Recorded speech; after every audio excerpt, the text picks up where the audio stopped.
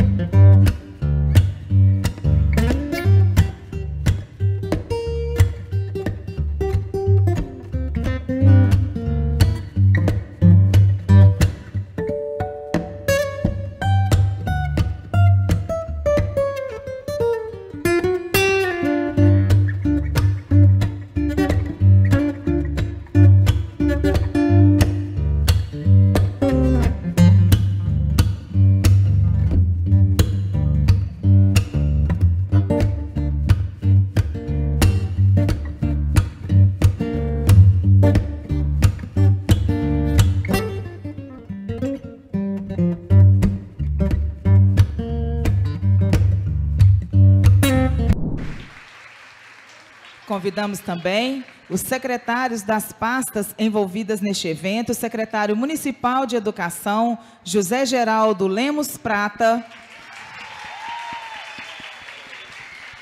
a secretária municipal de Assistência Social, Jaqueline Araújo,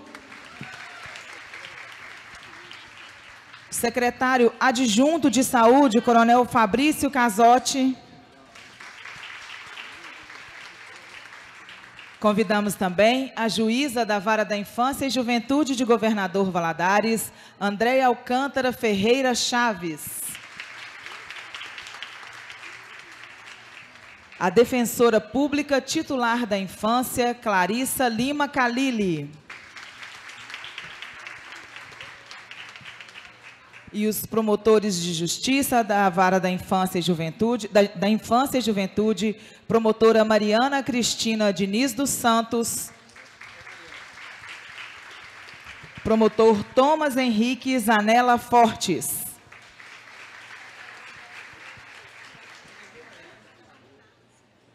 Nós estamos aqui, como ela disse, da Escola Padre Eulalie Laflante Elos. É, esses são os percussionistas, o Kaique, a Gisele, o Talisson e o Levi. Nós que vamos cantar para vocês, a Lara, a Mirella, a Isabela e eu, que sou a Ana Maria, e o Eric, que é também dos, dos instrumentais. É, muito obrigada pelo convite, a gente agradece muito.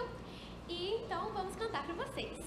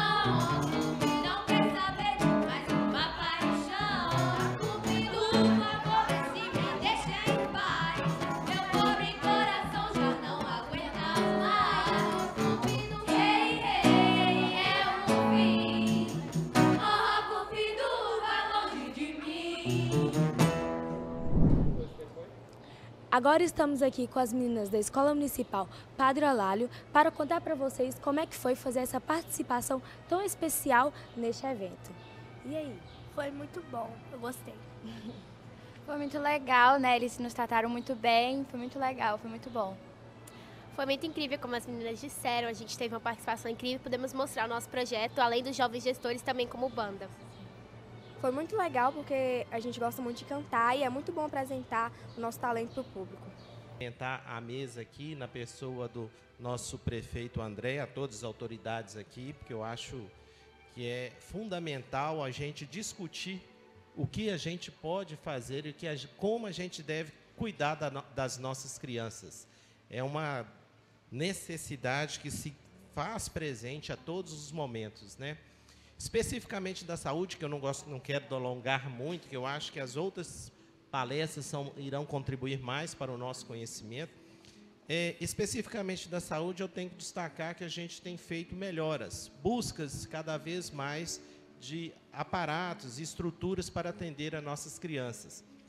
Nós temos o CAPSI, né, que hoje é uma estrutura para atender as nossas crianças em Governador Valadares, mas teve uma, uma, uma, vitória muito grande que eu gostaria de destacar, que é aquelas crianças que por um momento têm alguma dificuldade de saúde, a gente conseguiu criar em Governador Valadares leitos de UTI pediátricas, né? que era uma, uma demanda, um pleito de muito, muito antigo na nossa comunidade, na nossa região. É, para vocês terem ideia, a questão de uma criança passar mal, ela tinha que ir para outra cidade, através de um UTI e tal, ou de uma transporte aéreo ou algo mais. Hoje, graças ao trabalho da prefeitura como um todo, a gente consegue já tratar de algumas crianças. É lógico que não é ideal, era necessário que se tivesse mais, mas já tivemos esse primeiro passo, uma vitória muito grande na área da saúde, né? Bom, eu gostaria de desejar um sucesso ao evento, parabenizar todos os organizadores, o Ministério Público, o Judiciário, a assessoria, a assistência social, a Secretaria de Saúde, Defensoria Pública, porque eu acho que só a soma de todos nós será possível a gente criar cada vez mais um ambiente melhor para as crianças. Tá? Um bom dia a todos. Bom dia a todos. É um prazer poder estar aqui nesse primeiro encontro, aqui representando a Secretaria Municipal de Assistência Social e também representando o Conselho Municipal da Criança e do Adolescente. Várias reuniões foram feitas juntamente com a promotoria, juntamente com toda uma equipe, e eu tenho certeza que aquilo que vai ser ministrado, falado, argumentado, discutido durante esses seis, dois dias será de grande benefício para as nossas crianças e adolescentes. Nós, fazendo parte do município de Governador Valadares, temos tentado fazer o melhor. As nossas crianças que têm sofrido o maior número de vulnerabilidade, nós temos aí acolhido, temos tentado ajudar em parceria, juntamente com as demais pastas, saúde, educação, meio ambiente, cultura, lazer esporte, e principalmente com o apoio também do nosso prefeito Ander Melo, que tem um olhar todo específico para a criança e para o adolescente. Também quero desejar a todos um excelente encontro e também estamos aí junto com o Conselho é, Tutelar 1 e 2, trabalhando, nos empenhando para fazermos o melhor para as nossas crianças e adolescentes. Governador Valadares, tenha um bom dia. Bom dia a todos. Cumprimento o prefeito André Merlo, um grande parceiro da educação. O, não é à toa que você chamar de prefeito da educação, né, André? A minha amiga, hoje digo amiga pessoal, doutora Maria Cristina Diniz dos Santos, Maria. promotora da Justiça da Infância, que nos, nos ajuda muito, uma grande parceira, nosso muito obrigado. Doutora Andréia, juíza da infância, Parabéns pela sua lucidez, pela sua conduta. É muito bom trabalhar junto com a senhora. O promotor da Justiça, o doutor Tomás Tortes, também um grande amigo, um grande parceiro. Clarissa Lima Calili, nossa querida Cissa. E a, os nossos amigos, Coronel Casotti e a, e a pastora Jaqueline. É, A educação que transforma, que foi proposta desde o início da nossa gestão, ela acontece porque nós estamos transformando vidas. Se nós não transformarmos vidas, nós não estaremos fazendo a educação de verdade. E essa transformação de vidas, ela passa por todos nós que fazemos parte da educação. Ela passa no momento da pandemia, quando nós fomos para as, colocar as aulas na TV aberta. Ela passa pela garra da Carolina Rezende, minha adjunta, no dia a dia ao meu lado. Ela passa por cada uma de vocês, diretores escolares. Passa pela felicidade que Dayana está de ter com a escola nova, passa pela felicidade que nós estamos entregando a semana que vem a reforma da Olegário Maciel, e assim construindo uma educação diferente. Bem diferente, como vocês que estão comigo há oito anos são testemunhas, de um quadro que com poucas perspectivas. Uma dívida de 66 milhões na, na educação, contas, quando a gente ligava para Brasília, falava que era de Valadares, o telefone era desligado, professores desmotivados e um cenário muito triste de tomar posse com a Polícia Federal dentro da sua sala. Hoje, nós trabalhamos felizes, trabalhamos alegres e construímos parcerias. E sem essas parcerias, nós jamais conseguiremos chegar em algum lugar. E o que eu vejo hoje, essa, esse evento que a doutora Mariana está organizando, é para que nós possamos conhecer as nossas dificuldades, os nossos pontos fortes, os nossos pontos fracos, e entendermos que governador Valadares é uma só. Não é a Secretaria de Educação, não é a da Saúde, não é a da Assistência, não é um problema da promotora nem da Justiça.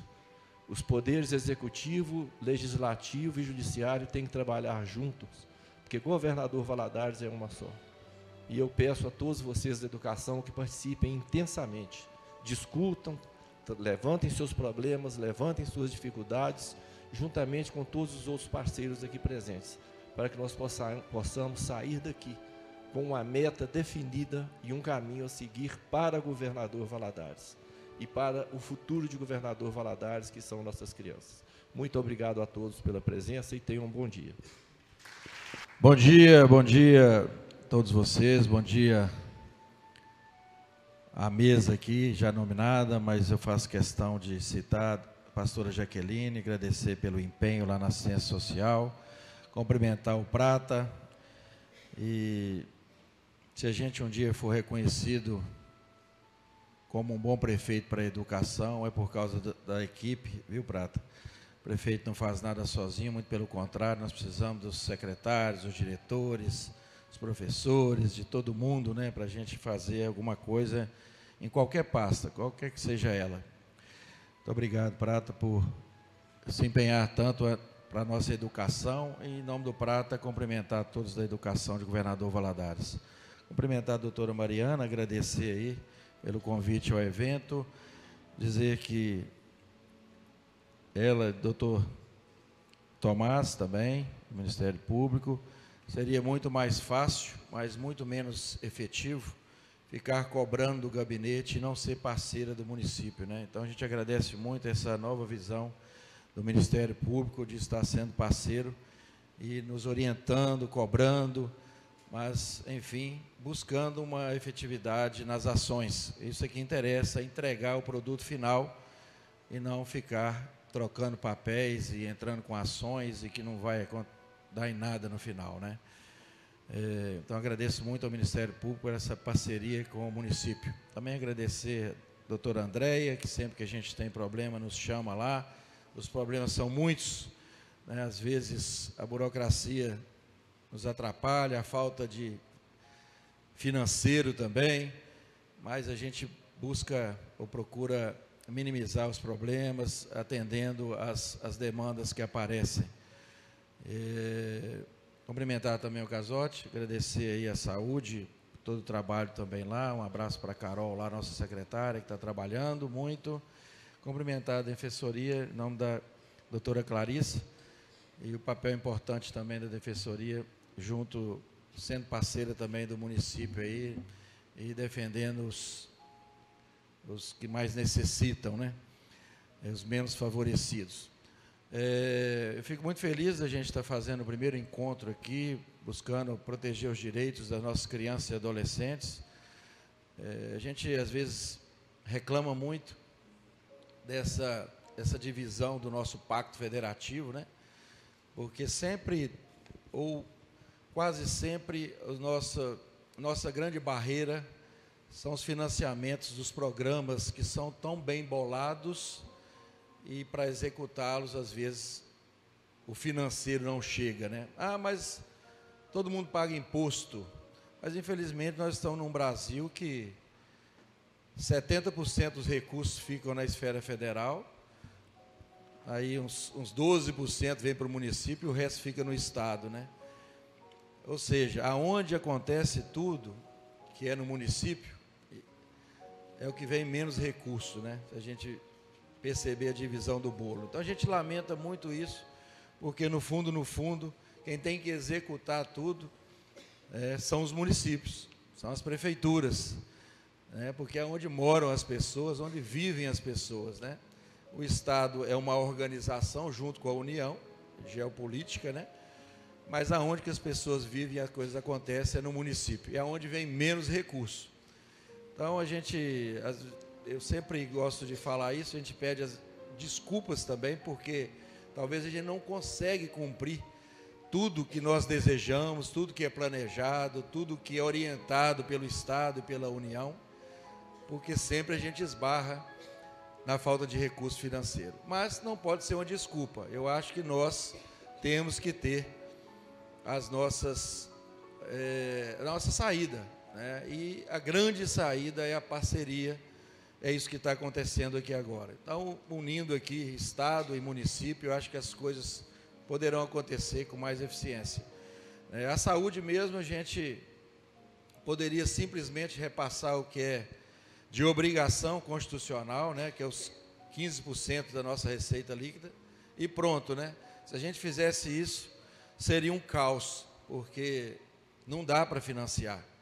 Né, e por aí vai. Então, é, é um desabafo também para vocês entenderem que às vezes a gente quer fazer, quer contratar mais, quer ter um ambiente melhor e às vezes a gente não tem condições por limitações financeiras e nós temos que ser responsáveis, porque se a gente contrata, a gente tem que pagar e às vezes a gente passa muita dificuldade para pagar. Né? Mas eu queria, nesse momento aí de união aqui, dessa demonstração, dizer que o município de Valadares vai estar sempre atento principalmente as nossas crianças e adolescentes. Né? Você vê que maravilha aqui, né? a, a fanfarra aqui do, do, do Padre Eulário, sempre nos atendendo, parabéns a eles.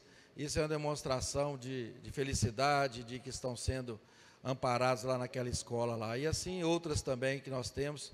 E, aliás, é, a gente tem uma atenção especial para educação. Espero que os leitos de UTI que o coronel falou aqui, a gente nunca precise usar, né? Para não deixar chegar lá. Mas a gente sempre tem as demandas e estamos trabalhando também na área da saúde para receber nossas crianças. Nós não tínhamos UTIs pediátricas, né? A gente só tinha neonatal e agora é, já temos.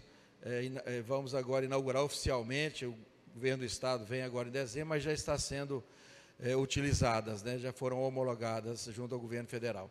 Então, dizer a cada um de vocês da importância de vocês, vocês dos conselhos, né, que fazem um papel importantíssimo, né, principalmente aqui hoje o Conselho Tutelar.